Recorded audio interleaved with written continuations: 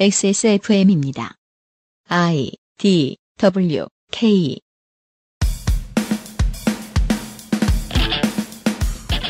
4월의 이상평론 시간입니다. 선생님, 오늘은 무슨 얘기입니까? 공간에 관한 이야기를 합니다. 영감은 드라마 스카이캐슬에서 받았습니다. 용산의 숨은 보석 컴스테이션, 한 번만 써본 사람은 없는 빅그린 프리미엄 헤어케어, 나의 마지막 시도 퍼펙트 15 전화영어, 경기도 김치의 진수 콕 집어 콕 김치에서 도와주고 있는 그것은 알기 싫다, 잠시 후에 시작합니다.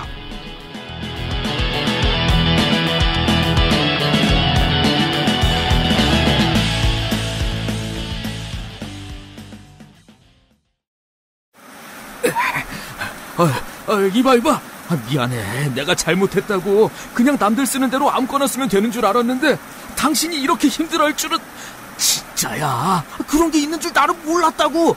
그렇다고 이런 식으로 나한테 이별의 통보를 하는 거야? 가지 마. 이제부터 잘할게. 어? 남은 거라도 지켜야지. 정말이죠? 이젠 내 머리카락 지킬 수 있는 거죠? 구스베리 추출물로 모근을 더 건강하게 자연 유래 성분으로 자극 없는 세정력 뛰어난 보습 효과와 영양 공급까지. Big Green. 이젠 탈모 샴푸도 빅그린 헤어로스 샴푸. 콕 집어 콕. 믿어도 되는 김치를 찾을 땐 콕 집어 콕. 햇서 빙진 김치 재료부터 공정 유통까지 안심. 직접 구매한 재료로 만드니까요 그러니까 김치가 생각날 땐 콕 집어 콕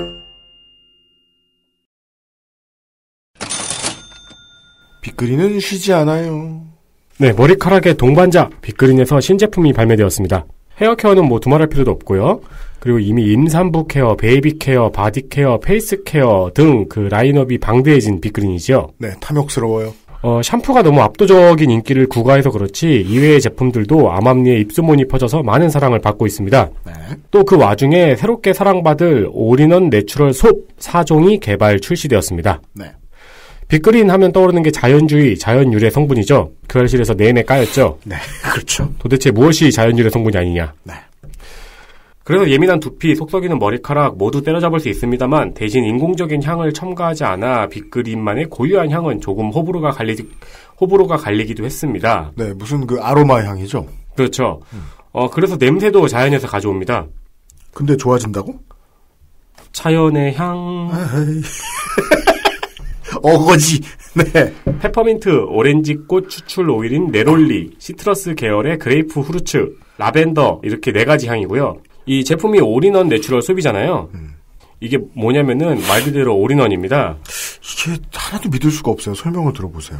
hair, body, 손. 왜 손은 hand가 아니고 손일까요? 터럭. 신체 발부. 핸즈. 네. 당신이 씻고 싶은 모든 부위에 적용하여 사용할 수 있는 제품입니다. 이게 전쟁 때 필요하지 왜? 그러니까 우리가 군대에서 쓰던 비누를 생각하시면 되죠. 어허, 아니 군에서도 요즘 이렇게 안 합니다. 피부 케어 얼마나 열심히 하는 양반들인데. 그쵸. 그러니까 머리부터 발가락 끝까지 온몸을 다 씻고 한 번에 씻어내도 된다는 이야기입니다. 물론 제가 머리가 짧을 때 가끔 이러긴 했는데요. 네. 음, 후기 좀 기다려봐야 되겠어요. 이런 물건을 좋아하시는 분이 많은 게 요즘에는 그, 그 스킨케어 제품 중에 이런 물건이 많이 나오잖아요. 아 그래요? 스킨 로션 크림을 아예 한 방으로 바른다 뭐 이런 식으로 남성향으로 아, 많이 나오죠. 아, 하긴 그 여성 제품도 나오더라. 네네. 그게 이제 남성들이 그 욕실에 그냥 하나만 짱 박아놓고 쓰기에도 편하죠. 특히 저처럼 저는 샤워를 제외한 고 씻는 경우는 잘 없거든요. 네. 아침에 샤워, 저녁에 샤워하니까. 네. 심지어 이건 좀 믿기가 어렵습니다. shaving foam으로 쓰셔도 좋습니다. 아 그거는 어릴 때 그 shaving foam 되게 비싸가지고 네.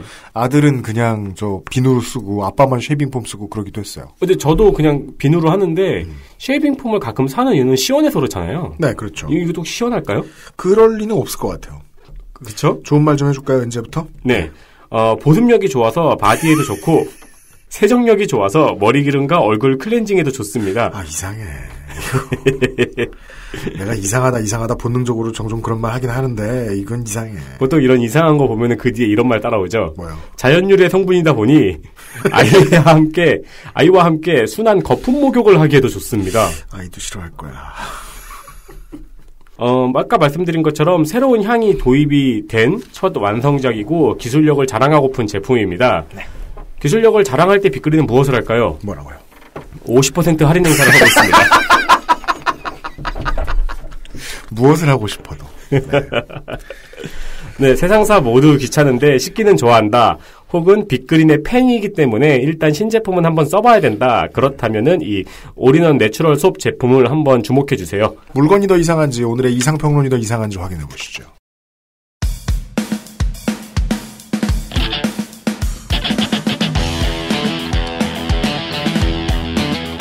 여러 가지 문제로의 다양한 접근.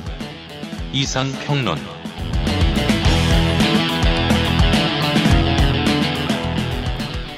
그것은 알기 싫다 314회 금요일 순서를 시작합니다. XSFM의 유승균 책임 프로듀서입니다. 어, 웬일인지 덕질인이 앉아 있습니다. 네, 안녕하십니까. 윤세민 에디터고요. 네, 안녕하십니까. 윤세민입니다. 오늘은 스카이캐슬 얘기를 하는 시간입니다. 스카이캐슬 봤어요, 덕질인? 어, 조금 봤습니다. 조금? 네. 그 재밌는 걸 조금만 보고 말았다고? 다시 봐봐요. 드래곤볼이랑 똑같아. 무엇이? 재미가. 저한테는 별로 이렇게 와닿지 않더라고요. 아, 재밌는데. 그래요. 그게 바로 내가 재밌게 본 거를 재미없다고 당신이 말할 때 내 기분이야. 아, 샤잠. 아니, 샤잠은 저도 그렇게 재밌게 보진 않았습니다. 제가 그, 국내 드라마를 많이 안 보는데요. 왜냐면은 제가 가장 최근에 올해 가장 기대했던 작품인 리갈 하이도 그렇게 열심히 보진 않아요. 재미 있진, 재미있긴 했는데. 네. 시간이 없기도 하고. 음. 네. 근데 그 요 몇 년 사이에, 어, 한국 드라마 중에 이렇게 외우도록 본 드라마가 없었습니다. 스카이캐슬. 아, 본인이 너무 재밌어가지고 외우도록 보셨어요? 네. 오. 재미없는데 억지로 받겠습니까? 그러기도 하시잖아요? 근데 그거는 이제 그 방송에 다룰 때 얘기고 방송에 음. 다룰 일이 없었거든요. 네. 네. 아무튼 학부모들도 저희 방송을 들어 듣는데요. 우리가 꼭 스카이캐슬에 애들을 집어넣어 놓고 그 키울 수 있는 것은 아니지만 스카이캐슬처럼 애들을 키우는 방법은 없을까는 생각해 본 적이 있는 사람들이 많습니다. 네, 네. 네. 아, 그 비법을 알려주실 어, 손이상 스앵님을 모셨습니다. 네, 안녕하세요. 손이상입니다. 네. 이상한 곳에 와서 녹음을 하려니 이상하네요. 김민아도 오지게 적응 못했어요. 예, 아주 네. 전반적으로 분위기가 다 이상해요. 특히, 특히 지금 저랑 있으니까 되게 어색하지 않나요? 아, 그것도 그런데, 아, 그럼 왜 이렇게 살이 빠졌어요? 거기 아, 다이어트 네. 유튜버 덕질인과 함께 뭐 하고 이렇게 있어요. 뭐 이런 귀한, 귀한 곳에 누추한 사람을 불러다 놓고 방송을. 그렇습니다. 네. 네, 스카이캐슬이라고 하는 드라마가 있었죠. 그럼요. 그, 근데 그 드라마 첫 화를 보면, 음. 그 캐슬 입주자들이 연회를 벌이는 장면이 나와요. 연회를 해요. 네. 연애가 아니고요. 연회. 연회. 네. 예. 어, 그게 이제 어떤 집 아이가 명문대에 합격해가지고 다 같이 모여가지고 축하를 하는 그런 장면이었는데요. 그렇습니다. 어, 사실은 그 대학에 네. 가지 않은 것으로 밝혀집니다. 스포. 아, 그래요? 저, 그, 아, 그렇습니까? 아, 거, 그, 그 장면에서 보면은 이웃 간으로 연결된 여러 연- 입주자 가족들이 서로 안부를 묻고 침묵을 다지고 그렇습니다. 네. 실제로는 분위기가 상당히 안 좋습니다. 네, 그럼 다들 빡쳤거든요. 저 네. 집에는 갔는데. 네, 음. 우리 뭔가 네. 아직 좀 뭐, 모르니까. 네. 그래가지고 거기서 이제 그 다른 집 학부모들이 막 합격 비결을 알아내려고 그좀 이렇게 어드바이스를 받아내려고 막 음. 네. 음모를 벌이고요. 네. 그 아래에서 막 암투가 막 벌어지고. 그래서 서로를 싫어하면서 에, 네. 머리를 부수고 싶어 합니다. 되게, 아갈머리. 네. 되게 평화롭네요. 아니, 음모와 암투가 고작 합격 비결을 알아내려고 벌어진다니. 그러다가 죽어요. 그 드라마에서 보면. 어, 그렇기도 한 세상이긴 하지만. 네. 아, 아무튼 이렇게 여러 가족들이 함께 만나고 대화를 나누고 막 나중에는 누가 막 죽고요. 그렇죠. 그러려는 목적으로 스카이캐슬에는 연회장이라는 공간이 있습니다. 근데 역시, 집이 아닙니다. 역시 안부를 묻는 것은 위험한 일입니다. 뭐야 그게. 아싸노마. 그, 그 연회장이라는 공간의 목적, 용도, 쓰임새는 무엇이냐? 음. 여러 가족들이 함께 만나고 대화를 나누고 방금 한 얘기죠. 침묵을 다시고. 안부를 묻고 네. 그 뒤에서 막 바이올린도 막 키고 그래요.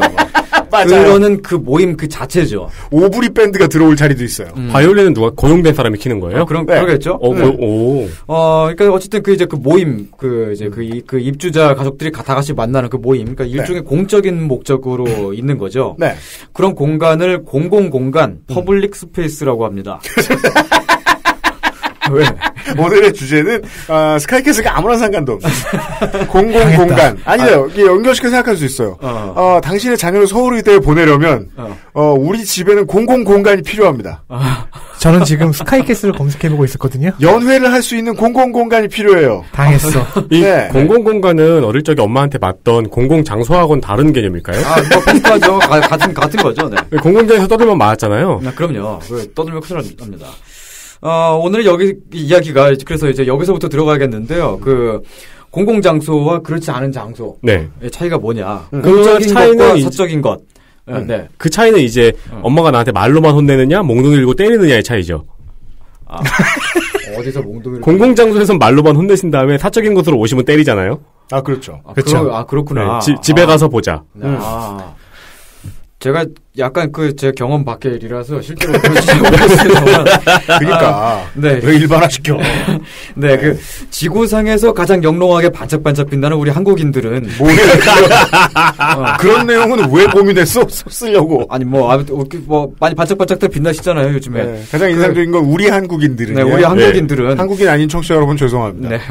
공적인 것의 의미를 상당히 좀 좁게 생각하시는 경향이 좀 있어요. 네. 어, 예를 들면 우리가 선거 날에 투표소에 가가지고 도장 찍고 나오는 행위는 공적입니까 사적입니까? 공공의 대표를 선출하는 일이니까 보통은 공적이라고도 생각하지요. 네, 그건 공적인 게 맞습니다. 네. 어, 그러면은 저기, 그 제가 집에서 요즘에 그 투니버스에서 아침에 포켓몬스터 써낸문을 하고 있거든요. 그거 보려고 아침에 7시 일어납니다. 그러면은 아침 일찍 일어나 가지고 그 포켓몬스터를 보는 행위는 공적인 일일까요? 사적인 일일까요? 그건? 그 공공 인프라는요. 네. 우리가 TV를 보라고 만들어 놓은 그 접시, 네. 공공 인프라를 쓰는 일이에요. 어, 어떤 면에서는 공적인 일이에요. 하지만 결국엔 사적이죠. 보고 있는 행위는 사적인 그리고 일이잖아요. 어, 잡히고 막 그 나가고 막 이러는 포켓몬들 입장에서도 되게 공적인 일이에요. 아, 그, 그러네. 걔네가 살아있다면 말이죠.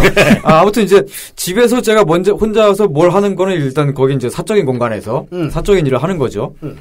근데 이제 그 투표 같은 그런 그 정치적인 행위, 그런 시민권을 행사하는 행위와 집에서 뭐 포켓몬스터 같은 거 보는 행위, 이 중간에 무수히 많은 것들이 사실 있잖아요. 네. 어, 예를 들면 유승균 PD는 이거 오늘 녹음 마치고 나면은 혼자 늦, 늦은 시간까지 이 녹음을 이제 편집을 할 거예요. 네. 그럼 이건 공적인 일일까요? 사적인 일일까요? 이건? 사적인 공간에서 행하는 공적인 일이죠. 그게 그렇죠. 이제 네. 유피님이 가지고 있는 가장 큰 고민이죠. 네. 공과사의 경계를 명확히 하지 못하시는 것. 그렇습니다. 어, 어, 네. 어, 그래도 이제 그런 사람들은 보통 자영업자라고. 네. 네. 여러 여러 청취자분들을 위해서 이제 편집을 하는 거기 때문에 공적인 행위가 되죠. 어 근데 저는 이제 그 시간에 어 제 그냥 사적인 친구들하고 만나가지고 공부하는 모임이 있어요. 그 그 이제 모임 나가가지고 뭐술 먹고 그럴 건데요. 네. 근데 이제 그럼 그건 이제 사적인 모임일까요? 그럼 공적인 행위일까요? 그것도 공적인 장소에서 이루어지는 공적인 행위가 됩니다. 네. 사실은 그래요. 그렇다면 공적이라는 게 의미가 무엇인지를 정의를 해야 될 것 같은데. 예를 들어 그러니까 그 우리가 뭐 책은 보통 면세 상품입니다. 네. 책을 읽는 것이 취미라고 해도 회사에서는 책 읽는 비용을 지원해주기도 합니다. 네. 이 사람의 업무 퍼포먼스에 도움이 될 수도 있기 때문에 음, 유면상 PD에게 저는 어, 너 수영 배울 거면 내가 우리 회사 비용으로 지원해 줄 수 있다고 얘기합니다. 왜냐하면 금방 죽을 것 같아서. 그에게 그가 수영의 맛을 들렸다면 그것은 사적인 행위일 수도 있지만 저희 고용주의 입장에서는 공적인 행위예요. 근데 수영을 하면서 발을 8번 차고 10번 차고는 사적인 행위잖아요. 그렇죠. 중간에 많은 일들이 있습니다. 어떤 건 공적이고 어떤 건 사적이고 어떤 건 순전히 공적인데 어떤 건 순전히 공적이고 근데 그런 일들은 별로 많지 않아요. 네. 음, 제가 이제 그 조금 이제 좀 그 간략하게 좀 말씀을 드리자면은 사적인 것들은 주로 법의 관리를 받지 않는 것들이에요. 아, 어, 예를 들면은 김민 아저씨가 집에 혼자 있어요. 집에 음. 혼자 있는데 옷을 다 벗고 막 배에 곰돌이를 그려놓고 춤을 춘다고 쳐요. 그거는 사적인 일이 분- 분명하거든요. 귀엽겠네. 그래도 그건 법의 관리를 받았으면 좋겠네요. 어, 근데 그거는 그래도 되고 안 그래도 됩니다. 우리가 싱가포르에 이제 보내버리겠어요. 네, 그거 우리가 그 나중에 듣고서 거기에 대해 가지고 내가 비난을 할 수 있을지언정 네. 그 아무한테도 피해를 준 게 아니기 때문에 그거는 뭐, 뭐 누가 뭐라고 할 수 있는 건 아니잖아요. 그렇습니다. 정작 하신다면 곰은 제가 그리고 싶습니다. 네. 그런데 이제 그 김민 아저씨가 자기가 그림 뒤집어서 그릴 거거든. 그러니까요. 김민아 아저- 아저씨가 같은 행위를 해요. 같은 행위를 하는데 한화와 롯데의 그 전설적인 그 3회 초 경기 그 얼마 전에 있었던 그 경기가 열, 열리고 있는 경기장에 난입해 가지고 옷을 다 아, 벗고 막그 사직구장에서 한화가 16득점을 하고 있는데 그 와중에- 춤을 춰요. 아니, 어. 그게 한 해에 나왔더라고요? 네. 그러면은- 문제는 또 김민아는 한화 선수하고 이름이 같아요. 헷갈릴 수가 있죠. 홍성갑 선수도 한화와 같죠? 기억을. 그래요? 네. 네, 그렇습니다. 이분에 계세요? 아 그러면은 이제 그 김민아 아저씨의 인생에 거대한 파도가 밀려오게 됩니다. 일단 곧바로 이제 붙들려 가게 되고요. 네. 어 이제 그 감옥행을 선택하게 되죠. 그리고 많은 영국 서버를 통해서 베팅을 하던 사람들이 허탈해합니다. 음. 내가 저걸 왜 몰랐지? 이러면서 어. 아, 떼돈을 벌수 있었는데 네. 그리고 사후에 막- 16점도 나고 김민아도 곰을 그리고 춤을 추는데 예. 막 사회면 사회면 뉴스에 막 나오고요. 자유한국당 국회의원이 야구 경기 막 이대로 괜찮으냐? 네. 문재인 물러나라 막. 막 이런 얘기하고 막 그렇게 돼요. 왜냐면 일단 그 법을 어긴 거잖아요. 그건 그 네. 공공 질서를 어긴 거니까. 올 때는 이런 문제 있으면 뭐라 그러더니 이건 순전히 내로남불이다. 그렇죠. 네. 이게 말하자면은 추출 동안 문재인의 8분 어디 갔느냐. 오늘 오래 걸리겠네. 아, 해요, 해요. 여기저기서 막 들어오네 이게. 네 말하자면은 이제 그 공적인 것과 사적인 것의 그, 그 경계가 이게 어떤 뭐였냐면은 어 사적인 영역 바깥에서 하는 행위 그리고 그 사, 사적인 그러니까 그 공간 바깥에서 하는 행위들은 다 어느 정도씩은 그 공적인 성격이 다 있는 거예요 조금씩은. 그렇죠. 네. 공공용지에서, 네. 공공장소에서, 네. 왜냐 그 법의 저촉을 받으니까 그렇습니다. 네. 어, 법의 받은- 받는다는 건 무슨 얘기냐면은 아무튼 공적인 질서가 있다는 거죠. 그렇죠. 다만 이게 그 얼마만큼의 공적인 성격을 갖고 있느냐, 다시 말해 이제 각자가 얼마만큼의 도덕적인 책무를 져야 하느냐 하는 차이가 좀 있을 뿐이죠. 어떤 행위냐, 어, 어느 공간에서 하느냐 그런 음. 거에 따라 가지고. 다만 이제 그 이렇게 말씀드릴 수 있겠습니다. 극단적으로 말하자면은 사적인 관계인 사람들, 예를 들면 뭐제 가족 모임 같은 뭐 그런 그런 것 들, 네. 어, 뭐 친구 모임 같은데 참석하는 거를 제가 제 여가 시간을 쪼개 가지고 놀기 위한 목적으로 만난다고 하더라도 다 공적인 성격이 조금씩은 있는 거라고 볼 수 있는 거죠. 네. 그렇죠. 네. 거기서 이제 그 배에 곰돌이 그리고 옷 다 벗고 막 춤추고 그러면 안 되잖아요. 그렇습니다. 네. 그건 귀엽겠지만 김민아가 잘못한 겁니다. 네, 그렇게 되죠. 공과사를 구분하지 못한 겁니다. 물론 사- 그런 사회변 뉴스에 나와요. 그런 모임도 있겠지만 아, 뭐- 그런 모임도 공적인 성격은 있죠. 아, 예, 예. 그렇죠. 아, 그, 네. 그렇죠. 거기서 옷을 입으면 안 돼요. 그쵸. 아, 뭐, 뭐, 이렇게, 고양이를 그리면 안 되고. 그럴 수도 있죠. 네. 어. 뱃놀이를 그리는데 조원진 의원을 그리면 안 되고. 어, 우주에서 가장 반짝반짝 빛나는 우리 여러 그 한국인 청취자 가운데 어, 덜어는 투표를 하시거나 광화문 광장에 나가가지고 촛불을 들거나 하는 혹- 혹은 이제 회사에서 업무 처리를 하거나 하는 것들은 공적인 것이라고 생각을 하는데요. 그럴 수 있죠. 어 근데 그 외에 다른 일들의 공공성은 별로 이제 생각을 잘 안 하게 되고 그러면은 음. SNS나 카톡방에다가 뭐, 뭐 올리고 그러는 거를 약간 좀 이제 사적인 거라고 생각하기도 하고 그러, 그러기도 합니다. 네. 어, 근데 우리 그 현명하신 청취자 여러분들은 그러지 않으셨으면 해요. 이게, 어, 우리가 이제, 이거 네. 지금 아무렇지도 않게 얘기하고 있는데, 네. 어, 지난 7년간 제가 말하지 못했던 어, 사실 이제 뭐, 우리 카톡방에서 뭐, 뭐 올리고 하는 것도 다 공적인 공간에서 하는 네. 공적인 그렇죠. 행위거든요, 네. 이제. 네, 소셜에서 공개 게시물을 올리는 행위는 매우 공적이다. 그렇습니다. 어, 우리가 이제 그 거대한 사회 관계망 안에서 그 세상에 우리만 살고 있는 게 아니잖아요. 어, 다른 나라, 다른 민족, 음. 어, 다른 국가, 하나의 생물, 생명체. 알았어요. 예.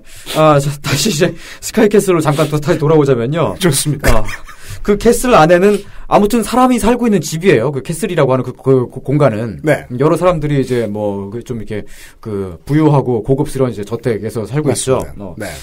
근데 거기서 그 그 각 입주자들이 공적인 목적으로 만남을 가지는 공간이 또 따로 있단 말이죠. 음. 어. 근데 그게 드라마 속에서만 그러느냐 하면은 현실에서도 최근에 보면 신축 아파트들은 연회장 같은 그런 공간을 따로 두는 경우들이 막 많이 생기고 있습니다. 아, 연회장도 있어요, 요즘에는? 예, 많이 있어요. 저는 골프 연습장까진 봤어요. 골프 연습장도 있고. 그러니까 그 전에는 음. 목적을 가지고 있는 것들을 하나씩 하나씩 만들기 시작했어요. 네. 구형으로는 그냥 숲과 놀이터에 지나지 않았다면 네. 이것이 피트니스 클럽이 되고 네. 음. 사실상 멤버십이죠. 그 네. 멤버는 간단합니다. 주민, 입주자. 같이 살고 있는 사람 거죠, 예. 실제로. 어, 수영장, 수영장도 골프 연습장. 음. 이런 식으로 늘었다가 나중에는 바베큐 이런 게 됐다가 그냥 공간을 준 연회장이 생깁니다. 음. 이제 라운지도 생겼어요. 좀 이제 고층 많이 이제 고층 어, 스카이 라운지도 있고 그래요? 예, 그 위에 라운지가 있고 막 그런 데들이 막 있어요. 연회장 뭐 찾아보니까 연회장과 라운지 등을 가- 갖춘 아파트가 뭐 집값이 올라간다. 어, 그래서 이제 그런 시설들이 큰 인기를 누리고 있는 게 뭐 사실입니다. 어, 방금 이제 홍 기자님이 찾아보신 그런 이제 그, 그 어떤 경제지에 따르면은 공공 공간을 갖추고 있는 그런 아파트들이 그 인근에 있는 다른 아파트들에 비해서 주거 면적이 비슷한데도 불구하고 가격 확 상승폭이 훨씬 크다는 뭐 그런 분석을 내놓기도 하- 했고요. 음. 또 다른 어떤 경제지는 아파트의 가치를 커뮤니티가 좌우한다. 뭐 그런 식의 주장을 내는 그런 어, 그런 것도 있었습니다. 매우 그렇습니다. 네. 네. 어 사실 이제 뭐 커뮤니티 공간, 공공 공간이 뭐 최근에서 그렇게 좀 더 이제 그 더 스트레이트하게 많이 보여지기 시작했지만은 과거에도 보면 아파트 단지 안에 아까 유피디님 말씀하셨던 것처럼 뭐 놀이터 정도 있었고 네. 노인정 작년 이맘때쯤 벌어졌던 일이 다산 택배 사건이었죠. 다산 신도시의 택배 사건. 음, 네. 그건 뭡니까? 그 저희 옆 동네에서 택배 차가 들어가는 것을 아파트 주민들이 거부해서 네. 택배 회사에서는 택배를 아파트까지 들어가는 거를 거부하고 이렇게 주민들과의 갈등이 있었죠. 음. 그러니까 이제 에디터가 주로 그, 그 아파트 단지의 커뮤니티 기능에 대한 흔히, 흔히 나오는 부정적인 사례에 대해서 주로 얘기를 해주고 있는데 네. 오늘의 주제는 약간 반대에 가깝습니다. 음. 왜냐하면 그 커뮤니티가 배타적이냐 아니냐와 무관하게 커뮤니티 내부에서 결속이 이루어지거나 네. 아니면 그 결속이 서로 간의 정보 교환이나 음. 어, 서로 간의 삶에 좋은 쪽으로 흘러갈 수 있다면 결국 그 구성원들한테는 좋은 일이거든요. 네, 그렇습니다. 네. 이게 우리가 이제 그 그런 이제 폐쇄적인 아파트 단지 그런데 바깥에 살고 있으니까 그러니까 우리는 그 아파트 단지를 보면서 그렇게 생각할 수가 있어요. 아 저기 저기네들 자기네들끼리 서로 빨아주고 이제 네. 자기네들끼리 똘똘 뭉- 뭉쳐가지고 저런 네. 짓을 하는구나라고 생각할 음. 수가 있습니다. 지들끼리 막 다 주남대 가고 서울대 가고 네, 그렇습니다. 다 신하고 가고 음. 근데 이제 또, 어, 이렇게도 볼 수 있는 게, 그런 그 공공 공간들이 또 사실은 보면은 민주적인 기능을 하는 공간이 되기도 하거든요. 네. 예를 들면 우리가 이제 그 만, 이웃하고 만날 수 있는 장소가 기껏해야 뭐 엘리베이터 정도인 그런 곳에서는 입주자 대표가 관리비를 횡령한다든가 그런 일이 일어나도 대처하기가 되게 어렵습니다. 그렇습니다. 거기에 대해 가지고 아 저기 뭔가 좀 일이 벌어졌는데 우리 근데 모여가지고 거기에 대해서 어떻게 좀 성토할 건가 어떤 네. 식으로 대응할 건가 만날 수 있는 뭐가 없어요. 음. 그러면 다들 그냥 귀찮으니까 유야무야 넘어가게 되고 뭐 그렇게 됩니다. 함께 모일 공간이 없기 때문에 그 의견 교환이 안 되고 따라서 여론도 만들어지지 않는 뭐 그런 이제 것, 것들이 있는 거죠. 따라서 이제 어 제가 이거 오늘 말씀드리고자 하는 거는 그렇게 이제 그 고급 아파트 단지에 혹은 막 그런 castle 같은 데 있는 그런 커뮤니티 공간 그런 기능을 하는 공간이 부자들만 사는 곳에만 필요한 것이 아니라 네. 일반적으로 우리가 살고 있는 데에도 다 필요하다는 얘기예요. 네. 근데 그게 이제 우리끼리 막 카르텔을 형성하겠다 막 이런 얘기가 아니고 다른 더 주- 좋은 순기능들을 하기 때문에 그렇다는 겁니다. 네. 왜냐하면 우리가 살면서 대부분의 시간을 보내는 데가 사실은 이제 그 공적인 영역이잖아요, 우리가. 아, 물론 이제 저처럼 집에 그냥 혼자 누워 있는 걸 좋아한다거나 그러시는 분들도 많이 계실 겁니다. 청취자 여러분들 가- 가운데서도 집돌이 집순이들이 있을 거예요. 저도 그렇습니다. 네. 여기 네 명 다 그렇지 않나요? 네. 어, 뭐, 네, 그렇습니다만. 그래도 이제 대부분의 성실하신 분들은 그 일하고, 퇴근하고, 어, 친구 만나서 놀고, 그러면 그게 다 공적인 행위를, 공적인 공간에서 하는 건데. 그래서 제가 맨날 야구 보러 갈 때 가장 소외감 느낄 때, 그, 물론 실제 소외감을 느낀다는 건 아니고, 와 여기 커뮤니티가 있어 이런 걸 느낄 때, 네. 테이블석에 갔을 때, 네. 나 빼고 서로 다 알아요. 아, 네. 그렇구나. 오야 감기 나왔냐고 어. 이 사람이 모르는 사이에 가장 물어보기 힘든 문제입니다. 음. 감기 나으셨냐고. 그러니까요. 예, 네. 흠칫 놀라겠죠. 공적인 장소잖아요. 근데 사람들의 사생활이 엮여서 어떠한 사람들 간의 연계를 이루어줍니다. 음, 그렇습니다. 음. 예. 근데 이제 그런 연계를 하, 기 위한 그런 그 공간이, 그런 공적인 만남을 마- 마- 만날 수 있는 그런 공간이 사실 현대 도시에 별로 없어요. 없습니다. 이- 네, 일을 하는 데는 있습니다. 없어진 걸까요? 없어졌죠. 없어지, 사라지고 있죠. 네. 왜냐면 어. 그냥 자연 불악이 생기죠. 네. 그러면 공공 영역은 있어요.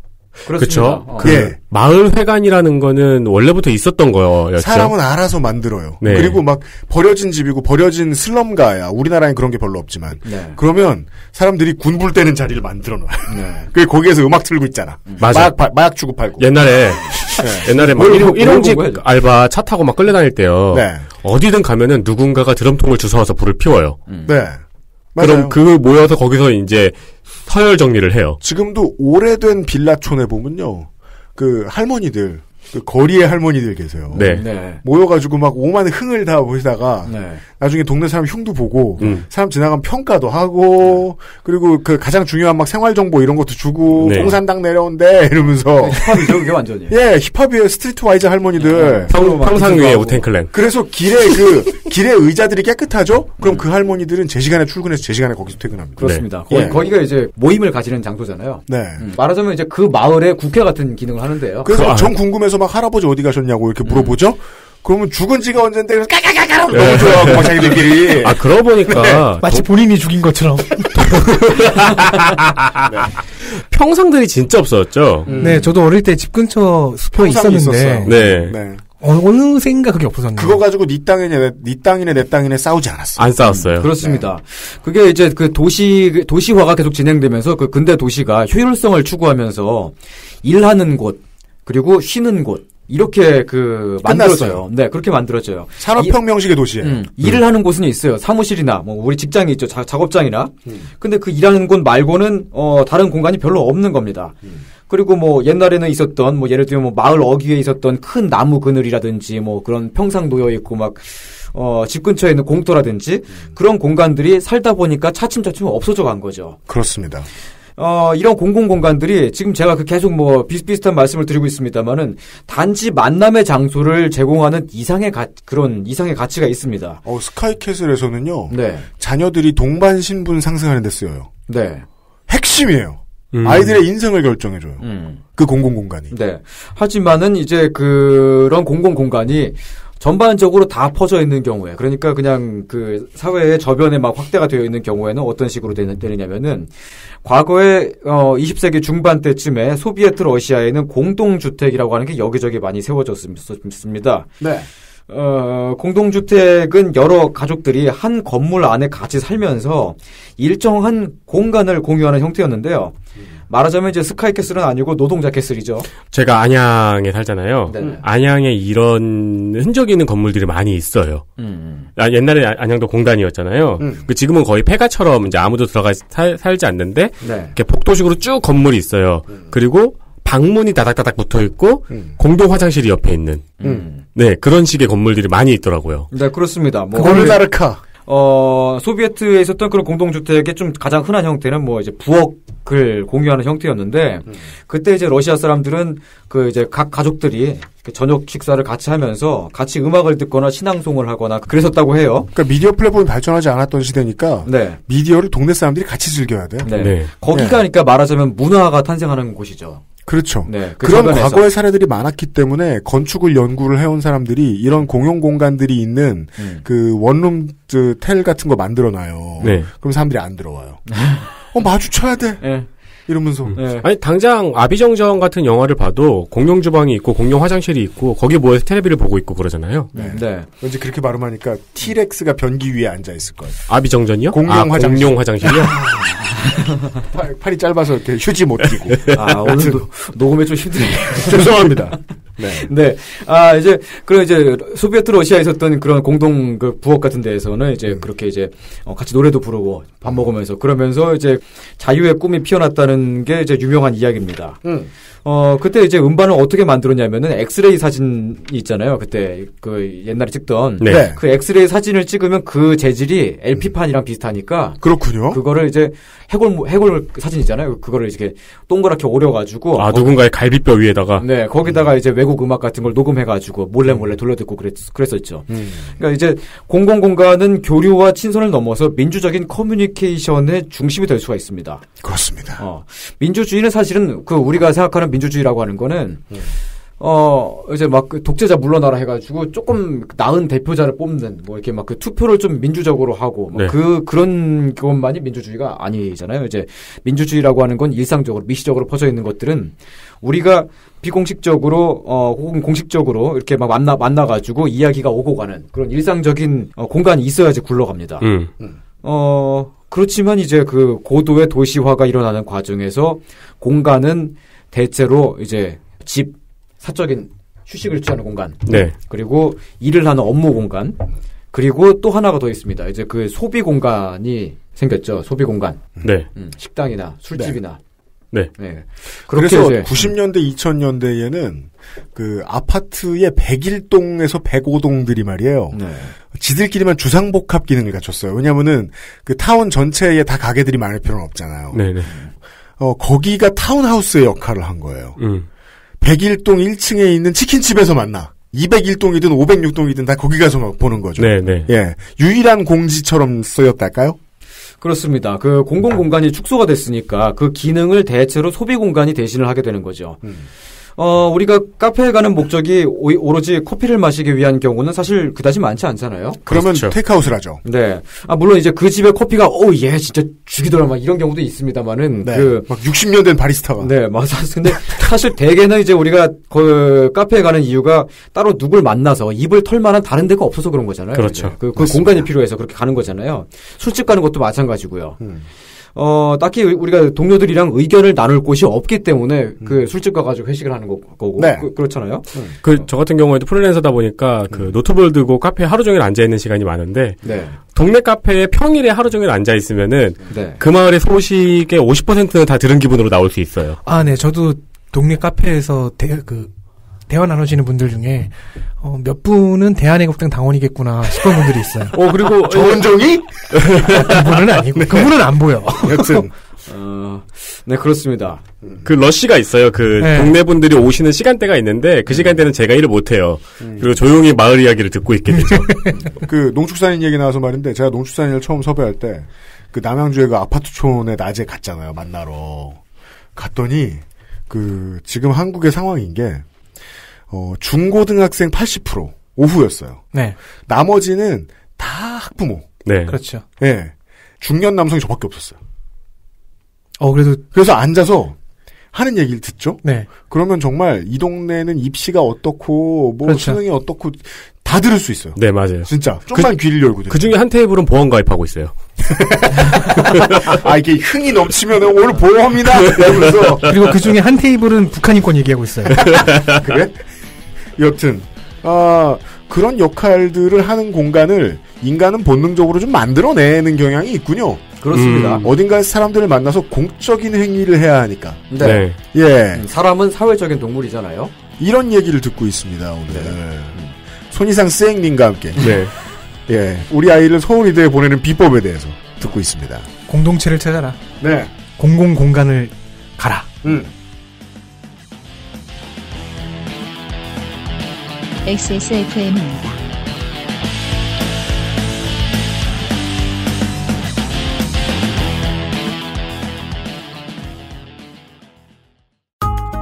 지금 유리한 가격대의 부품, 지금 가장 핫한 하이엔드 장비, 아니면 고장 리포트가 적은 부품으로 이루어진 사무용 PC까지 당신이 찾는 데스크탑을 상담 없이 구입할 수 있는 기회, XS몰에서 컴스테이션 이달의 PC를 찾아주세요. 주식회사 컴스테이션 10분으로는 부족합니다. 당신의 실력을 충분히 높일 수 있는 최적의 시간. 25분간의 전화 영어. Perfect 25.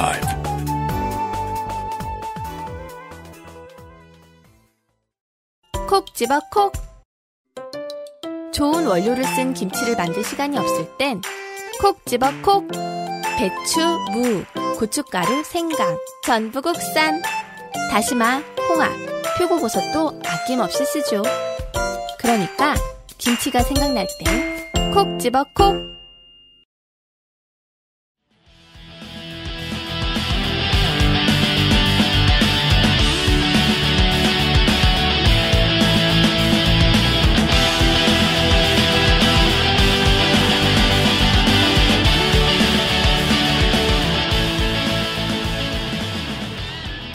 광고 듣고 돌아왔습니다. 네, 오늘 이 시간에는 청취자 여러분께서 이 손이상 스앵님을 전적으로 믿으셔야 됩니다. 네. 뭐 그런 말이에요. 되게 신난다. 아이를 서울의대에 보내시겠다면. 그런 얘기를 하고 있던 건 아니고요. 네. 저기 어 공적인 공간, 공공 공간이 축소가 되고 현대 도시에서 어, 그리고 그게 이제 소비 공간으로 대체가 되고 있다. 그 기능이 네. 어, 그런 이야기를 하고 있었습니다. 어 이런 점에 처음 주목한 사람 중에 어 이데팔 가르마로 많이 유명한 분이죠. 하버마스라고 하는 외국인이 있었어요. 아, 하버마스를 소개할 수 있는 가장 특별한 방식입니다. 네. 외국인. 외국인 그냥 외국인이죠. 어 그 하버마스라는 이 양반이 이제 책을 냈는데 그 내용이 이런 거였습니다. 그냥 내가 좀 살아봤더니 사, 살아보니까 민주주의를 하려면 공공 영역이 엄청 필요해. 근데 자본주의가 졸라게 침투해가지고 합리적인 비판적인 담론을 만들 데가 없어. 음, 다 땅값으로 지정해놓고 딱지를 붙여놓으니까 네. 사람들이 합의에 의해서 공공 영역을 만들 수가 없게 만들었어. 네. 어, 이게 쉽게 말하면 이제 누구 만나서 좀 야부리를 털고 그래야지 우리가 좀 살겠는데 어딜 가도 다 돈을 내야 된다는 거예요, 이게. 네. 성숙한 시민들이 함께 모여서 연대를 나누는 공간들이 있지 않습니까? 뭐 PC방이라든지 노래방이라든지요. 네. 연대 있죠. 가면 PC방이 훨씬 더 크죠. 네. 어, 근데 그런 데서 우리가 이제 그 공적인, 어, 시민적인 행위를 하는 데에 다 돈이 듭니다. 어, 시간당 얼마씩 듭니다. 네. 어, 그래서 이제 그 외국인은 이렇게 소비 공간으로 대체가 되어 가고 있는 공공 공간의 구조를 콕 집어서 포착을 했습니다. 그렇습니다. 음, 그게 60년대 일이에요.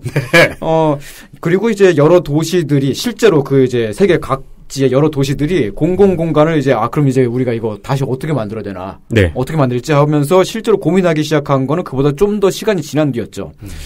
무슨 얘기냐면은 이 문제는 다른 나라에서도 본격적으로 움직이기 시작한 지 얼마 안 됐다는 얘기입니다. 음. 이 공공 공간의 문제가요. 음.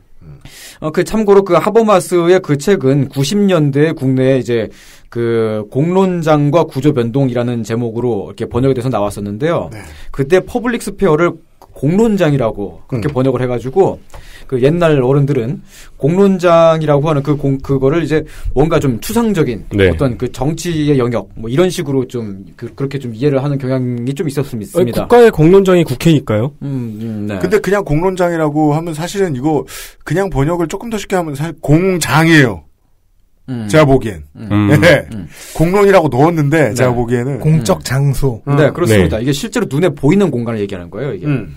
자, 그러면 이제 공공 공간이 필요하다. 그리고 사적인 휴식 공간, 그 이제 집 같은 데나 그 이제 우리가 일을 하는 업무 공간 말고도 네. 원래 있는 공간이고 또 있어야 되는 공간이다.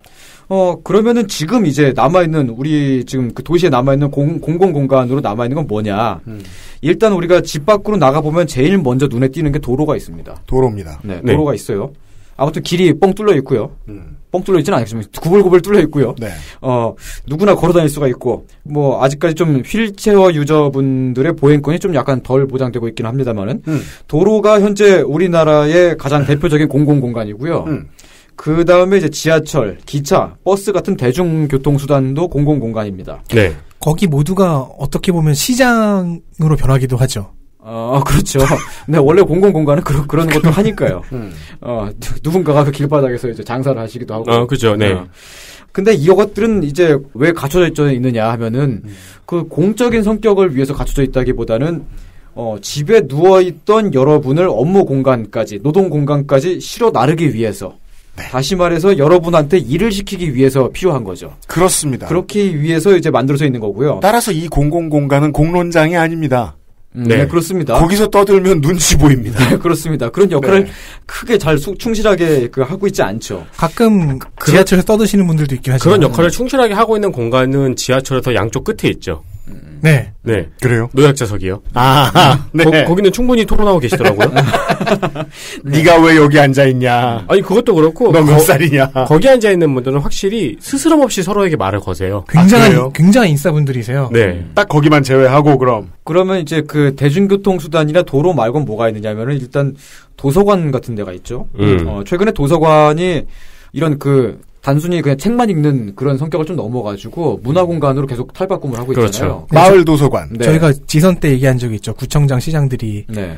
마을 도서관을 만드는 이유는 음. 커뮤니티 역할을 하- 하기를 기대하는 것도 있다. 그렇습니다. 그런 그런 커뮤니티 역할을 하는 다른 데가 없기 때문에 도서관이 지금 그걸 다 떠맡고 있는 거예요. 음. 이제 거기서 어르신들이 주식만 보고 계신다. 예. 그 도서관 사서분들이 막 매일마다 이제 그 기획서 막 어떤 행사 기획 네, 네. 계속 올리느라고 이제 막 죽을려 그러죠. 실제로 뭐 어린이 도서관이 따로 딸린 지는 꽤 됐죠. 네. 네. 시끄럽게 뭐- 떠들 수 있는 어린이용 공간이. 음, 네. 그리고 그 도서관 같은 데 말고 또 이제 박물관, 혹은 뭐 미술관 같은 그런 문화 공간들이 있고요.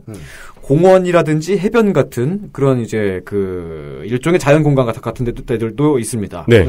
최근에는 또 우리 국토의 70%가 산지니까 산을 뚫어가지고 막 둘레길 같은 것도 만들고 그렇습니다. 그렇습니다. 음. 네. 그럼 뭐 그 정도까지가 이제 우리가 가지고 있는 공공 공간이에요. 케이블카도 교통이지만 이 케이블카들은 보통 한국에서는 우리를 일터로 출연하진 않습니다. 어, 그렇습니다.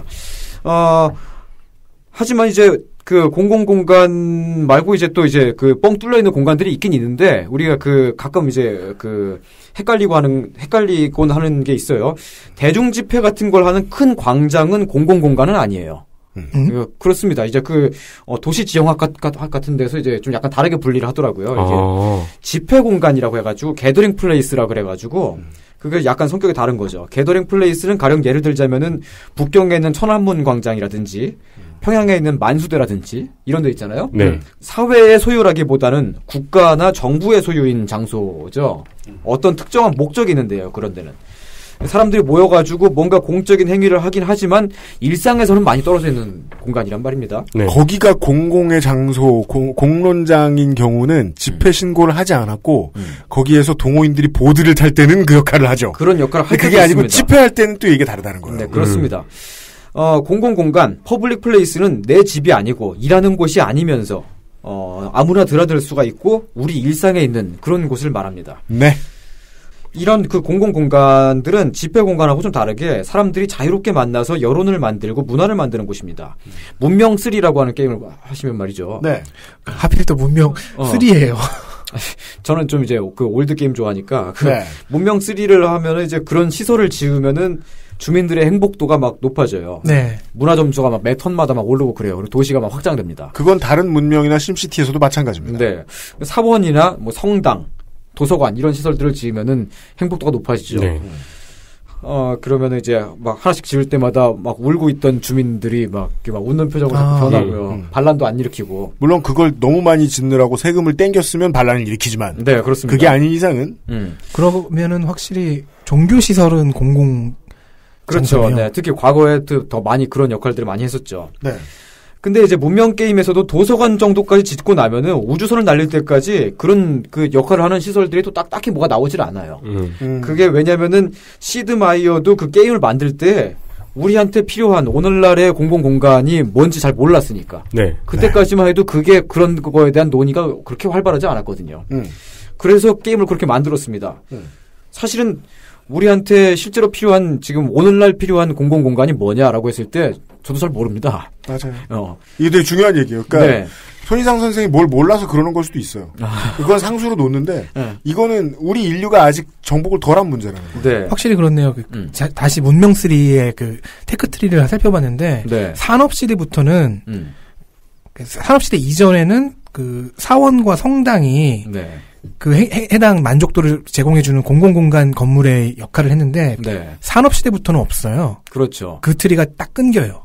산업시대 직전쯤에 시장을 건설하면 시장을 통해서 사치품 막 포도주 이런 것들을 막 먹이잖아요. 그 주민들한테. 그럼 그걸 통해서 이제 행복도를 높일 수는 있는데 그러니까 그때부터는 시장으로 대체가 된 거죠. 공공공간이. 음. 그 게임이 그런 그런 어, 이야기를 하고 있네요. 물론 5편과 6편에서 좀 다릅니다. 네. 여튼 어, 여튼 오늘날 현대로 됐을 때 산업시대 이후에 오늘날의 현대가 되었을 때 어떤 공공공간이 필요하냐 했을 때 이제 잘 모를 수밖에 없는 이유가 왜냐하면 각 지역마다 실제로 거기 에 살고 있는 사람들마다 필요한 공간이 사실은 다 달라서 그렇습니다. 그렇습니다. 지역마다 다 달라요. 네. 어, 뭐 캘리포니아 같은 도시는 스케이트보드를 타는 그 공간이 잔뜩 있다 그러대요. 있을 수밖에 없게 돼 있습니다. 네, 제가 이런 천혜의 자원이 있으니까 네. 좋은 날씨라는 음. 제가 실제로 가본 적은 없지만은 실제로 그런 막 그 공간이 많아가지고 되게 좋다더라. 뭐 그런 얘기는 많이 여기저기서 두- 주워 들었어요. 제가. 네. 그, 그 네. 지중해성 기후에서 보통 익스트림 스포츠가 발전을 한단 말이에요. 음. 네. 그리고 그게 지역의 문화가 되기도 하고. 근데 익스트림 스포츠뿐만 아니라 실내에서 할 수 있는 모든 스포츠가 다 밖으로 튀어나와요. 네. 그러면서 그 동네 주민들에게 인프라를 깔아준단 말입니다. 그렇습니다. 캘리포니아 얘기하셨는데 그쪽 해안에는 그 보디빌딩 선수들도 바깥에서 훈련하는 유명한 곳들이 있어요. 와, 진짜요? 해변에. 네, 해변에. 예. 달리기도 오, 하고. 오. 네. 아니 뭐 그걸 보면서 아이들이 꿈을 키우기도 하고 음. 그 동네 동호인들이나 선수들이 거기에서 만나서 친분을 쌓기도 하고 그러는 거예요. 네, 그렇습니다. 네. 그렇지만 경북 의성 같은 데다가 거, 거기에 extreme 스- 스케이트 시설이 별로 필요 없을 거 아니에요.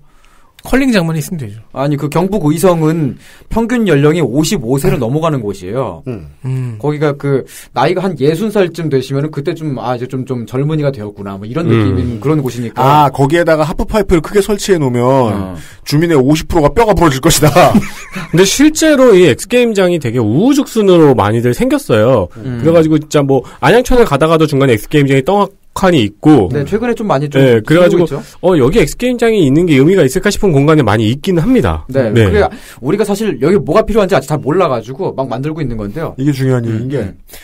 그런 얘기 흔히 하잖아요. 사람들은 사람들을 무시하는 디자인을 무시한다라고요. 네. 한강이나 그 지천 주변에 대도시 지천 주변에 낙동강이나 뭐 그런 것도 마찬가지일 겁니다. 주변에 엑스게임장을 만들어 놔요. 근데 거기서 보드를 타거나 하는 사람들이 자전거를 타는 사람들이 적다. 그러면 거기서 RC카를 들고 와서 그 하프파이프를 RC카들이 타고 있어요. 네, 네. 네. 사람들은 자기 방식에 맞겠습니다. 그렇습니다. 음, 그걸 연구해야 돼요. 음, 그래요. 어, 어, 마찬가지로 이제 어떤 지역은 길거리 농구를 할 수 있는 그런 그 작은 체육 시설이 더 필요할 수도 있고요. 네. 뉴욕입니다. 또, 네. 다른 지역은 노천 극장이나 뭐 어린이 시설이 더 필요할 수도 있습니다. 음. 근데 그게 이제 그 필요가 어떤 필요가 있느냐를 정확하게 모르는 상태에서 그냥 어린이 시설을 딱 지어 놨는데 거기가 막 어, 어린이 용도로 지어놓은 막 그 반짝반짝 빛나는 그런 곳에 이제 네. 그, 그 어르신 분들이 지팡이 짚고 오셔가지고 거기서 또 막 모임, 모임을 갖게 될 수도 있고 그런 거예요. 각 지역마다 원하는 게 다 다르고 실제로 필요한 공간이 다 다른데 아직까지 우리가 그걸 그 면밀하게 파악을 할 수 있는 어떤 뭐 그런 게 없기 때문에 불과 몇 년 전까지만 해도 정부나 지자체가 공공 공간을 확충해야지 룰루랄라 그러면은 만드는 게 대체로 문화 공간이었어요. 맞아요. 문화예술 공간. 네. 그럼 좀 보편적으로 아 이- 그래도 이렇게 적어도 욕을 먹지는 않잖아요. 그거 만들었을 때. 음.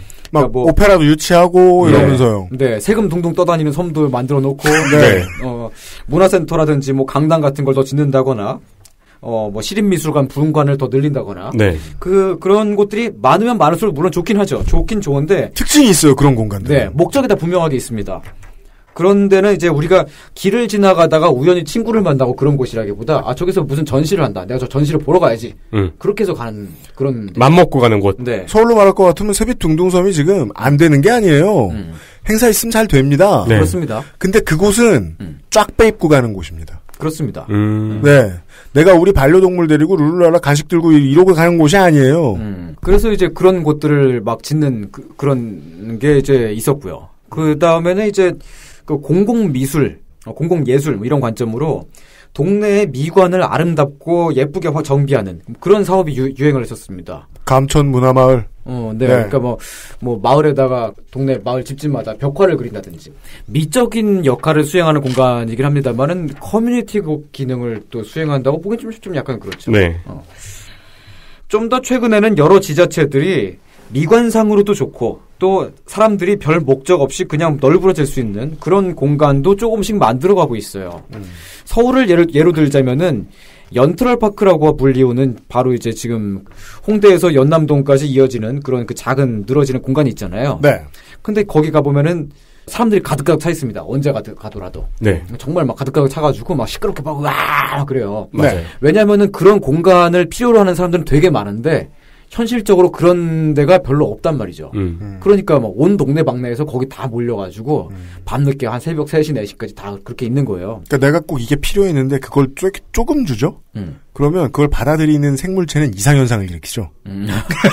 그래서, 아, 그럼 이거 주지 말아야겠다. 이렇게 생각해버린단 말이야. 음, 네. 더 많이 줘야 되는데. 더 많이 줘야 됩니다. 예. 그러니까 여전히 공공 공간은 턱없이 부족한 게 온 세상에서 가장 반짝반짝 빛나는 우리나라의 오늘날 현실입니다. 그렇습니다. 아니, 공공공간 이렇게 많은데, 막 근린공원 만들고 다 했는데, 사람들이 안 오잖아. 필요 없다는 얘기야. 그게 아닙니다. 잘못 디자인했다는 얘기예요. 네, 아직 덜 만들었다는 얘기입니다. 네. 네. 아마, 아마도 이 방송을 듣고 계신 여러 청취자분들 중에 산업 지역에 살고 계신 분들은 특히 더 그러실 텐데요. 집이나 회사 말고는 뭘 누릴 데가 없다는 생각을 하시는 분들이 많으실 줄로 제가 압니다. 네. 특히 좀 이제 좀 많이 지역 지방에 있는 소도시나 아니면 서울 근교라고 하더라도 이제 좀 그 경기도권에서 좀 많이 이제 멀리 떨어져 있는 그런 지역 있잖아요. 네. 거기는 정말 말 그대로 집, 일터, 그죠. 그리고 약간의 식당과 술집 네. 정도예요. 그리고 사유지니까 출입을 금한다고 써져 있는 공터. 제가 제 동네에 대해 갖고 있는 인상이 그건데. 그래요? 막 밖에 나오면은 뭐 어디 갈 곳이 없어요. 네. 커피숍 외에는 정말 없어요. 그런 공간들이 우리가 지금까지 공적으로 그게 구- 반드시 필요하고 아 내가 우리가 그런 걸 원하는데도 불구하고 우리 동네에 안, 안 세워놨어요. 그런 걸 확충을 안 해놨어요. 네. 그러니까 그거를 이제 돈을 주고 캐슬 안에다가 세우는 거예요. 음. 그래서 그 돈이 있는 사람들만 그걸 이용할 수 있게끔 음. 그렇게 지금 변모가 되고 있는 거죠. 이것이 지난번 이상평론하고 맞닿아 있는 부분입니다. 음. 꼭 필요한 건데 민영화 해놓으니까 네. 소득 수준에 따라서 그 받아내는 혜택이 너무 달라지잖아. 네. 한반도에 사시는 모든 여러분들은 경험해 보셨을 겁니다. 아파트 단지 밖에 산다고 해서 차별하는 일들, 음. 아파트 단지 안에 사는 사람들이 누리는 특혜, 이것은 특혜가 잘못됐기 때문이 아니죠. 그 혜택을 모두가 보지 않은 게 문제죠. 음. 네. 네. 네. 그 공공 공간을 만들어 가자라고 하는 이런 건 말이죠. 이런 이야기는 단순히 복지나 혹은 뭐 시해 이런 시각으로 접근하기가 좀 어려운 게 그런 곳들은 다 같이 공유해서 다 같이 쓰는 말하자면 공유 재산이 생기는 거잖아요. 따라서 이제 앞으로도 더 많이 상상을 하고 이야기를 많이 좀 나눴으면 좋겠는 것이 공공 공간은 앞으로 늘어날 거예요. 음, 그건 이제 우리가 긍정적으로 생각해도 좋습니다. 그건 분명 분명하고요. 지금 지금도 실제로 늘어나고 있, 습니다 근데 이제 거기서 우리가 우리 동네에 무엇이 있었으면 좋겠고 우리 동네에는 나는 뭐 뭘 필요로 하는지 네. 어, 그런 이야기를 어, 반짝반짝 빛나는 슬기로운 우리들이 어, 계속 앞으로 이야기를 좀 하면 좋겠고요. 돈을 내고 잠시 빌려 쓸 수 있는 뭐 카페나 술집들도 있습니다만은 그것만으로는 채워지지 않는 것들도 있으니까요. 음. 어. 실제로 지금 얼추 찾아보니까 도시재생 분야에서는 네. 공공건축물, 공공공간 이런 걸 네. 어떻게 활용할지에 대한 연구들이 꽤 꾸준히 있네요. 그렇습니다. 음. 그렇습니다. 네. 전번에 제가 어떤 그 EBS에서 하는 어떤 다큐멘터리를 봤는데 말이죠. 네. 그게 이제 어 그냥 일상적인 뭐 일터나 광장 같은 데다가 놀이터 같은 걸 설치하는 거였어요. 네. 그 방방 뛰는 그 트램폴린 같은 거 있잖아요. 트램폴린을 딱 설치하면은 사람들이 길 가다가 어이 저 저기 점프하는 데가 있네 하고 다 올라가가지고 점프 한 번씩 그냥 다 하다 가요. 네. 그럼 그걸 일시적으로나마 딱 설치를 해놨던 건데 그러니까 사람들이 좋아하더라고요. 음, 음. 거기가 좀 특별한 공간이 되고 그리고 그거를 쪼, 조금 오랫동안 그렇게 설치를 했더니 이제 사람들이 거기를 약속의 장소로 자, 이렇게 음. 삼아요. 그렇습니다. 거기서 사람들이 만나고 모이고 네. 그렇게 되는 겁니다. 사실 뭐 이제 공공 공간이라고 하는 게 특별히 어떤 기능을 특별히 수행한다기보다 그냥 만나는 공간. 인데 좀 뭔가 좀 약간 약간의 특별함이 있으면 되거든요. 그런 거를 어 저도 이제 많이 고민을 해봤어요. 이제 그 우리가 여러 사람들이 많이 좋아 좋아들 하고 우리가 뭐 그런 데가 뭐가 있나 그런 그런 기능을 하는 게 뭐가 있을까 하고 우리 그 상설로 유지가 되는 그런 공간이 많지 않기 때문에 보면은 지역에서 최근에 지역 문화 축제 같은 거 많이 하잖아요. 네. 그래서 그 지역 문화 축제를 가면은 사람들이 다들 좋아하고 남녀노소 누구나 다 즐기고 그런 아이템들이 있어요. 그죠. 그게 최근에는 그런 그게 있는데 그, 그 곤장 맞기 체험이 어, 네. 유행을 하고 있거든요. 민속촌에서 전국으로 유행시켰죠. 네, 그래갖고 그게 막 무슨 뭐 김치 축제가 그런 거 하면 그 거기도 막 곤장 맞기 체험 해가지고 막 아빠가 막 아들 패고 막 되게 좋아요 진짜 사람들 거기 와가지고 다 막 몰려 줄 서가지고 사진 찍 사진 찍고 저도 막 맞아봤- 저도 이게, 맞아봤어요. 이게 웬 SM의 민족이야? 그러니까 이제 제가 지금 여러분한테 이제 살짝 이제 제안을 드리고 싶은 게 마을에 곤장 형틀을 두자. 네. 잘 나가다가 이게 우리 그 지자체장한테 이제 우리가 그 이제 편지를 보내가지고 네. 마을에 우리 우리 동네에 공공 공간을 만들어 주세요. 그리고 이제 곤장 맞기 체험을 이렇게 딱 설치를 하는 거예요. 음. 그래가지고 이제 막 그 막 한나라당 김성태 의원을 24시간 동안 때리기 체험. 괜히 이제 뭐 묶어놓고 한 번씩 치고 싶잖아요. 그러지 마. 그런 그런 공간을 하나씩 만들자. 음. 이런 거. 네. 뭐 아니면은 이제 뭐 저기 뭐 그 김문수 지사 같은 경우는 예수님 좋아하시니까. 야, 저기, 저기, 시- 십자가 위에다가 도지사라고 써놓자고요. 네, 그러니까 아니 그 네, 그 십자가를 설치해가지고 도지사의 왕. 어, 묶어놓고 얼마나 좋아요. 그게. 경기도의 왕. 이렇게. 좋은 좋은 생각입니다. 뭐 Passion of 김문수야. XSFM입니다.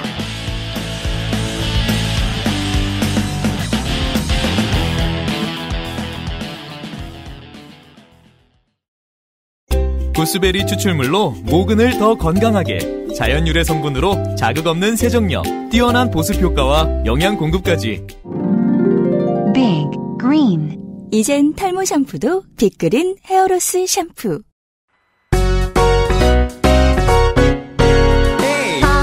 배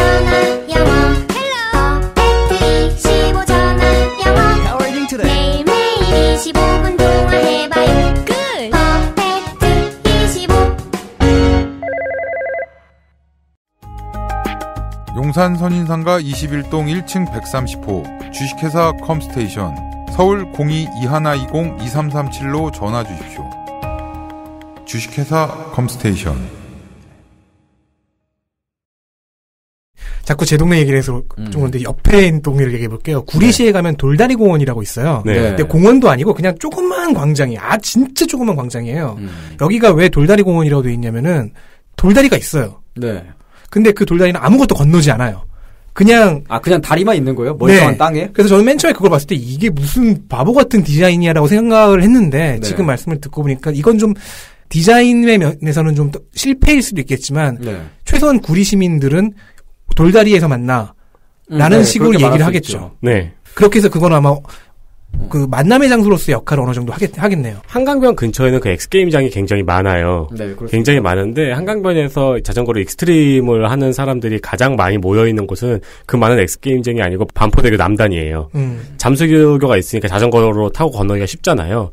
그래가지고 자전거를 타는 사람들은 거기를 반민이라고 하거든요. 반포대교 남단이 한강에서 자전거 타는 사람들의 거대한 커뮤니티예요. 근데 그 많은 엑스게임장은 거기에 없고 다 딴 곳에서 텅텅 비어 있어요. 그래서 반포대교 남단에 공터가 살짝 있거든요. 대리석으로 만들어진. 거기서들 다 자전거들을 타고 하나의 있어요. 힌트가 나오는군요. 행정청의 관료들을 위한. 그렇습니다. 사람들이 모여 있는 곳에 가서 만나서 얘기를 좀 들어봐라. 네. 근데 정치인들이 다 하고 있는 일 같은데 이건 꽤나 안 됐네요. 아, 사실 이제 외국 같은 경우는 이런 공공 공간을 만들기 위해서는 어떤 위치에 어떤 사람들이 모여가지고 뭘 원하는지를 면밀하게 다 들어가야 되는데 이게 그 정치로 그러니까 그 어, 다 해결이 안 되는 역할들이 많잖아요. 그런, 네. 그런 부- 부분들이. 그래서 이제 그 지역마다 지역 코디네이터, 음. communicator, 그런 사람들을 따로 고용을 합니다.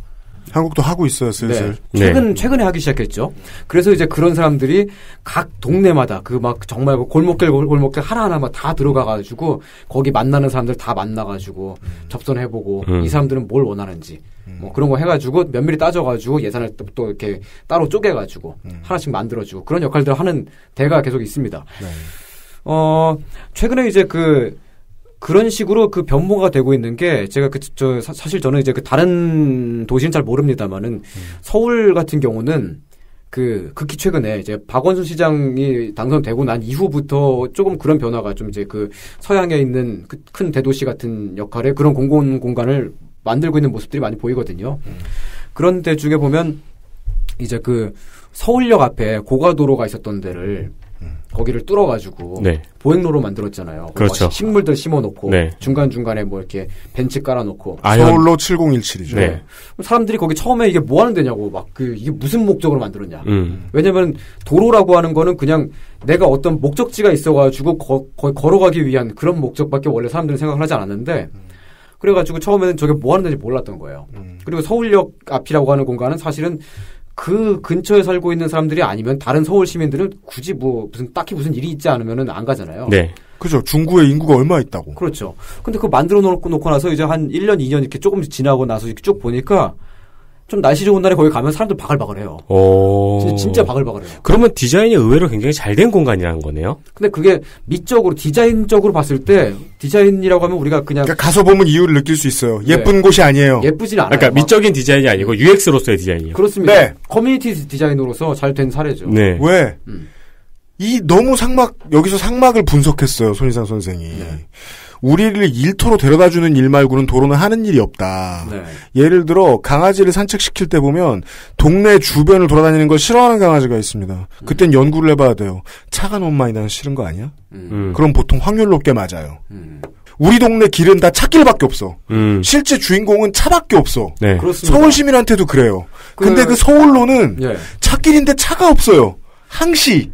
그리고 그냥 일반 도로하고 약간 다르게 좀 뭔가 이렇게 그걸 의도하고 만들었는지 모르겠는데 약간 로맨틱한 뭔가가 벌어질 수 있는 그런 공간들이 다 있더라고요. 약간 그 특정 포인트들이 있어요. 아, 그거는 원래 그 근처에 좀 있었어요. 왜냐면 역 근처는 원래 있거든요. 그 사람은 빈 공간을 주면 어디선가 뽀뽀를 합니다. 적당한 아니, 찾아서. 거, 기가 있잖아요. 그러니까 그 이제 가야겠다. 고가도로잖아요. 고가도로에 이제 조그만한 뭐 커, 피숍 같은 상점들이 있는데 네. 그 상점 위로 올라가는 계단이 있어요. 아, 그런. 근데 그 계단을 원래 못 들어가게 막았는데 좀 약간 해가 지고 나면 사람들이 거기에 이제 들어가거든요. 그래가지고 그 위로 올라가면 다 뽀뽀하고 있고 그래요. 어, 그죠. 뽀뽀할 사람들은 그런 데를 들어가죠. 찾아서. 네. 네, 이런 얘기입니다. 좋은 정보 감사합니다. 어, 그런 왜냐하면 이게 또 서울의 부재예요. 음.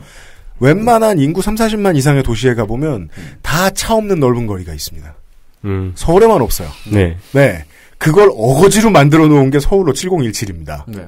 그리고 서울 사람들은 인구에 비해서 그럴 곳이 너무 없으니까 무진장 간다는 거예요. 연트럴 파크도 네, 마찬가지죠. 마찬가지입니다. 그 이런 류의 이야기였습니다. 사람들이 왜 거기 몰려가서 소- 선생의 표현, 스행님의 표현에 의하면 막 지랄을 아, 시끄러운 소리를 막 내는 거아 이러고 너무 찾던 것이기 때문이다라는 네, 얘기입니다. 네. 지난주 미나문구에서는 이 반대와 관련된 상황에 대한 얘기를 했습니다. 어, 국민의 안전을 국민이 가난한가 부자인가와 상관없이 지켜주려면 공무원들 그리고 처우는 그, 그 처우는 좋아져야 되고 일원화가 돼야 되고 국가가 돈을 써야 된다. 네. 지자체에도 맡기면 안 되고 민영화도 시키면 안 된다는 얘기를 드렸는데 여기에서는 반대입니다. 한국 정부가 지금 그 국민들의 삶의 질에 최 앞으로 몇 년 동안 300조 원인가 이 정도 투자하겠다고 얘기를 했잖아요. 네. 거기에 되게 중요한 키워드 하나를 오늘 들은 것 같습니다. 이건 지자체에 돈이 뿌려져야 되고 음. 지자체는 지방 정부를 통해서 의회를 통해서 어떤 주민들이 어떤 이야기를 내주는지 돈을 뿌려가면서 들을 방법을 궁리해내야겠죠. 이 문제를 알아내려면. 네. 제가 마지막으로 재작년에 이제 그 살던 개와 함께 여행을 갔을 때 갈 곳이 너무 없어서 동네 애견 카페를 찾아갔어요. 부산에 갔었을 때. 음. 네. 되게 넓고 예쁘고 좋은 곳이었어요. 근데 거기서 저희만 타인이고 다 친한 거예요. 개들과 사람들이 다 친했어요. 개를 데리고 갈 곳이 없군요. 그들에게는 주민센터, 그렇죠. 주민의 공론의 장이었어요. 네. 개가 있는. 거기가. 커피가 되게 맛있는데 여기가 지역 관광 명소가 아니라 그냥 조그마한 동네 사람들 모이는 곳이라니 너무 아깝잖아요. 네. 되게 공- 곰곰이 생각해 본 거예요. 왜 여기가 커뮤니티의 역할을 하지? 그들에겐 다른 커뮤니티가 없었구나. 없으니까. 공론장이 없었구나. 그렇습니다. 그리하여 우리는 일본과 한국의 술집이 왜 이렇게 시끄러운지를 이해하게 됩니다. 네. 평소에 다른 곳이 너무 조용하잖아요. 그래서 아니 평소에 다른 곳이 조용한 만큼 술집이 시끄러운 거예요. 그렇습니다. 아 이건 서로 상관관계가 있구나. 네. 소비 공간이 어 공공 공간이 해야 될 하- 해야 하는 그런 기능을 대체하고 있기 때문이죠. 한국에 돌아와서 다시 한번 고민해 봅니다. 네. 난 술집에 가면 왜 이렇게 과식을 할까? 솔직히 나 이거 안 먹고 싶은데. 음. 예. 거기 앉아 있어야 되니까요. 먹으러 간 게 아니에요. 네. 앉으러 갔던 거예요. 그래요. 그래서 과식한 거야. 공론장이 적당히 주어졌으면 난 과식 안 해도 됐어요. 아, 그런 핑계도 될 수 있네요. 내가 살이 찐 에이, 것은 과식! 내 탓이 아닙니다. 내가 살이 찐 것은 지역에 공론장이 없어서다. 아니 그러니까요. 집 근처에 저기 곤장 막기 뭐 그런 거 있었어 봐. 유명상 PD가요. 스튜디오 리모델링을 하면서 이번에 사무실을 신축했잖아요, 저희가. 네. 사무실을 내면서, 아, 그, 우리 사무실 방에는 소파가 없었으면 좋겠다. 음. 이런 얘기를 하는 거예요. 그래서 제가 반대했어요. 왜냐면 가끔 소파에 널브러져 있어야 대화라도 좀 하거든요. 네. 우리가 대화가 너무 없어서 평상시에. 네, 네, 네. 예. 소파는 필요하다. 네. 아니 차라리 침대를 놓지 그러세요. 이렇게 그것도 좋고요. 네, 누워가지고 얘기할 수 있잖아요. 근데 침대에 같이 누워있으면 기분이 안 좋아서. 아니 그게 사실은 더 귀족적인 걸 수 있어요. 옛날 로마 시대 귀족들은 다 누워가지고 얘기했는데. 하긴 그 저 삼국지나 초한지에 보면은 그 서로 친해지면서 같이 한 침대를 썼다 그러고 네, 그렇죠. 거기서 뭘 했는지만 안 써주잖아요. 그러니까 세상이 되게 성적으로 다 그러니까 세상이니까. 뭔지 이분이 말씀하시는 거는 싱글 3개를 놓자는 거고 이분이 말씀하신 거는 퀸 사이즈를 놓자고 하는 거라서 아 싱글을 놓으면 되겠구나. 싱글 3개를 그거를 그거를 지적하지 말아보시. 되게 재밌는 옆에서 보기엔 되게 재밌는데. 네. 그 사무실 이런데도 우리처럼 이제 비정규직이 많이 맨날 가, 가끔씩 만나는 곳에서는 네. 우리 회사도 커뮤니티의 역할을 가끔 해요. 어머는 막 떠들고 수다 떨고 이러, 이러고 가잖아요. 그 게스트끼리 만나면 되게 반가워하죠. 예, 조성주 소장 앉으면 바로 담배부터 딱 피면서 네. 자기 일 뭐 힘든지 막 떠들고 이러잖아요. 어딘가에서 사람들은 모여서 떠들 공간을 본능적으로 만들어내는데 음. 네. 그걸 캐치할 일이 앞으로 정치 혹은 온 사회가 되게 힘을 많이 기울여야 될 문제겠구나. 그렇습니다. 이것이 어, 온 나라가 스카이캐슬이 되는 방법이다. 이런 얘기였습니다. 그렇습니다. 네. 아, 쌩님과 오늘 쌩님을 전적으로 믿으면서 그렇죠. 예. 예. 스카이캐슬이 혼자 스카이캐슬일 수 있는 이유는 지들끼리만 그렇게 잘 돼 있기 때문에 아, 가장 이기적이고 성적이 잘 나오는 커뮤니티가 될 수 있었단 말이죠. 이상평론으로 꾸며드린 아, 손이상 스앵님과 함께한 4.19 이거 59주년에 그것은 알기 싫다였습니다. 네. 아, 혁명으로 민주주의를 조금이나마 얻어냈으면 네, 우리가 그걸로 그 누릴 수 있는 과실이 있어야 되는데 그런 문제에 대한 얘기를 해봤습니다. 네. 네. 그리고 곤장 트리 XSFM에 생긴다면 가장 먼저 맞을 분의 이야기를 들어봤습니다. 그럼요. 매우 칠 겁니다. 제가 쳐도 되겠습니까? 형은 두 번째죠. 아, 그, 아, 네. 네. 그리고 그 형틀만 있으면 도망갈 테니까 칼도 어디서 빌려와가지고 최대한 무거운 걸로 네. 어, 목에 채워놓고 네. 그 최근에 보니까 그 카톨릭 순교지를 갔더니 음, 거기에 그 줄이 틀기 체험이 있더라고요. 오. 그 줄이 한 번씩 그 친구들끼리 한 번씩 막 틀어주고 막 그러면 되게 친해져요. 그거. 그렇습니다. 저 UMC 한번 틀어보고 싶습니다. 그리고 방송이 40분째 안 끝나고 있습니다. 어, 커뮤니티를 방법, 만드는 방법으로 예, 고문 도구들을 늘어놓는 것을 제안해드리면서 그리고 저희는 지금 그 커뮤니티에서 뭘 하는지를 보여드리고 있습니다. 오늘의 방송을 마무리 짓겠습니다. 네. 내일 이 시간에 예, 다시 뭐 찾아뵙겠습니다. 유승균 PD하고 아, 윤세민 에디터하고 덕질인하고 손희상 선생이 함께 인사드리죠. 들어주셔서 감사합니다. 네. 주말에 뵙겠습니다. 안녕히 계세요. XSFM입니다. I E W T